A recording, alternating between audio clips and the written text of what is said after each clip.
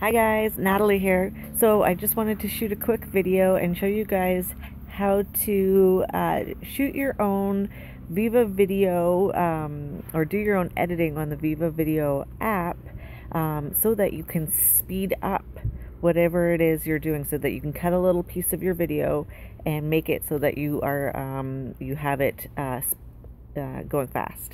So what we're gonna do first is we're gonna open up the app I bought the pro version. It was like $3.99. It was totally worth it because it allows you to use, um, you don't have a time limit, whereas the free version, I think you only get five uh, minutes. So I'm going to go into my studio. You can see I've got some videos here.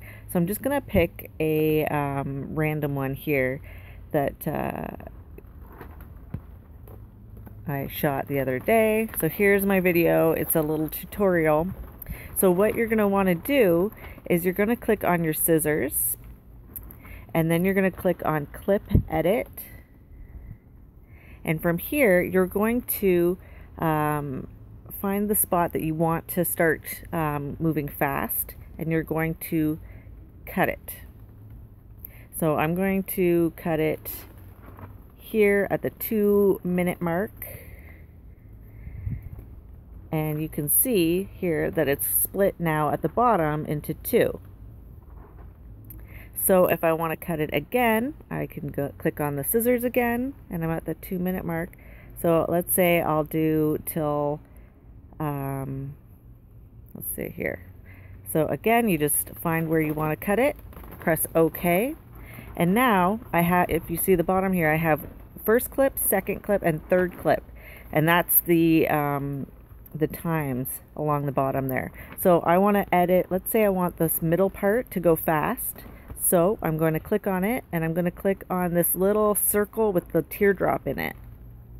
And this is where I can pick my speed. So if you want to slow it down, you can click down to like even a quarter times. And if you want it to go fast, you can see crazy fast and that that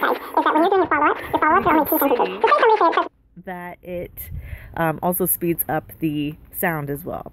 So let's do that. We'll just leave it at that. And let's do the last one. Let's do it slow, just just so you guys can see. So let's do it super slow.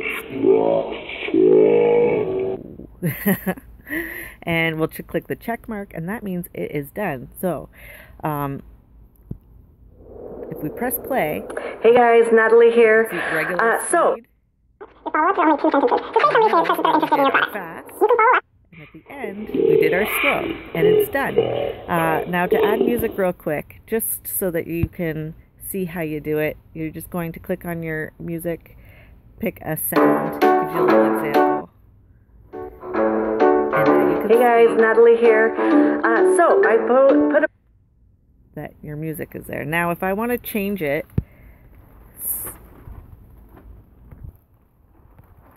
so that the music's only playing in parts of it, I would do that here in the edit part. And say I want it to go, um, you know, not so loud so that you can mostly hear my voice. You can play with the controls on the left side here. And that's it. So press play. Hey guys, Natalie here. Uh, so I put a. All right, guys. Thanks for watching. Uh, hopefully that helped. Uh, it took me a long time to try to figure that out, so um, hopefully I'm just going to save you guys some time. Thanks for watching.